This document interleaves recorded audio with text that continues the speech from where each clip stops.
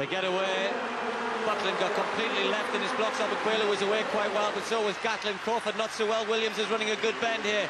America could come in the, into the straight one, two, three. It's Crawford in the middle. Gatlin trying to stay with him. Obikwelu running for bronze here, but it's going to be Shawn Crawford. Gatlin's going to get second, is he? Perhaps no. Williams gets silver. 19.8. Crawford takes the gold. And the boos ring out around the stadium, and they should not because Crawford is a worthy Olympic champion. That is a great performance, 19.8. It's American 1-2-3. Williams sneaked through for the silver ahead of Gatlin.